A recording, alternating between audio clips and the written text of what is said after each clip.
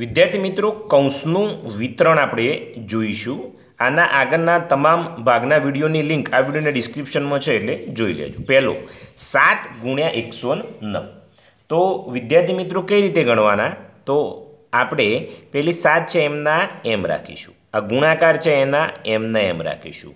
હવે એકસો નવના બે ભાગ પાડીશું. તો કયા પડે? એકસો વત્તા નવ કરીએ તો એકસો નવ થશે. બરાબર છે? જો સાત એમના એમ, ગુણાકાર એમના એમ, એકસો નવ એટલે સો વત્તા નવ એટલે એકસો નવ થાય.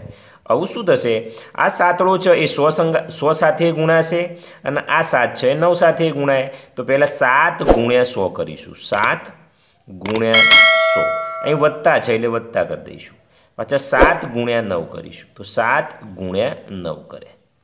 સાત ગુણ્યા સો કરો તો કેટલા આવે વિદ્યાર્થી મિત્રો? તો તમને ખબર છે સાતસો આવશે.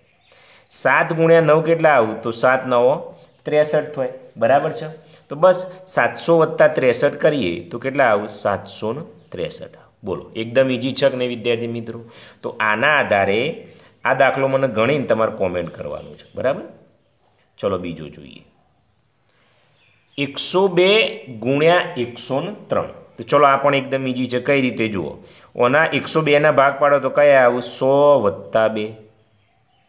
ગુણાકાર એમના એમ. એકસો ત્રણના ભાગ કયા? સો વત્તા ત્રણ થશે. ઓકે? આવું શું થશે? આ બંને ગુણાકાર છે. તો પહેલાં સો છે એ આના સાથે ગુણાય છે, પાછો સો આના સાથે ગુણાશે. એ રીતે બગડો આ સાથે ગુણાશે અને બગડો આ સાથે ગુણાશે. સો ગુણ્યા સો કરી દઈએ. વત્તા, આ સો છે ત્રણ સાથે ગુણાય. તો સો ગુણ્યા ત્રણ કરીએ. વત્તા બે છે સો સાથે ગુણાય તો બે સાત ગુણ્યા સો કરીએ. વત્તા બે ગુણ્યા ત્રણ થશે. ઓકે? ચલો સો ગુણ્યા સો એટલે દસ હજાર, તમને ખ્યાલ છે? સો ગુણ્યા ત્રણ એટલે ત્રણસો. સો ગુણ્યા બે એટલે બસો અને ત્રણ દુ છ. હવે સો દસ હજાર વત્તા ત્રણસો વત્તા બસો વત્તા છ. તો ત્રણસો ને બસો, પાંચસો પાંચસો અને છ, એટલે પાંચસો છ. દસ હજારમાં પાંચસો છ ઉમેરો, તો દસ હજાર પાંચસો ને છ જવાબ આવો. બોલો, એકદમ ઇઝી છે કે નહીં? તો આના ઉપરથી તમારે મને આ ગણીને કોમેન્ટ કરવાનું છે. એકસો પાંચ ગુણ્યા એકસો ચાર. ઓકે? તમે આનો ગુણાકાર કરો, એકસો બે ગુણ્યા એકસો ત્રણ કરો, એટલે આ જવાબ આવી જ જાય. એકસો સાત ગુણ્યા એકસો નવ કરો, તો પણ આ જ જવાબ આવે. બરાબર ચલો આગળ જોઈએ. પછી છે સત્તર ગુણ્યા એકસો નવ. તો વિદ્યાર્થી મિત્રો, આ જોઈએ.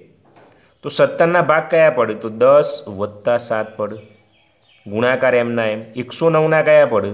તો સો વત્તા નવ પડે. બસ, આ દસ છે બંને સાથે ગુણાશે તો દસ ગુણ્યા સો વત્તા દસ ગુણ્યા નવ થશે. વત્તા સાત ગુણ્યા સો થશે. વત્તા સાત ગુણ્યા નવ થશે. ઓકે? ચલો દસ ગુણ્યા સો એટલે હજાર થશે. દસ નવા નેવું થશે. દસ સીતો સાતસો થશે. સાત નવો ત્રેસઠ થશે. હવે હજાર વત્તા સાતસો. તો કેટલા થશે? સત્તરસો થશે. સત્તરસો વત્તા નેવું, વત્તા ત્રેસઠ કરશો. એટલે જવાબ કેટલો આવશે? સત્તરસોમાં નેવું ઉમેરો એટલે સત્તરસો નેવું, સત્તરસો નેવુંમાં ત્રેસઠ ઉમેરશો. તો એક હજાર આઠસો ત્રેપન જવાબ આવશે, વિદ્યાર્થી મિત્રો. બરાબર છે? આના આધારે તમારે મને સોળ ગુણ્યા એકસો ચાર આ દાખલો ગણી જરૂરથી મને કોમેન્ટ કરજો. ઓકે, વિદ્યાર્થી મિત્રો?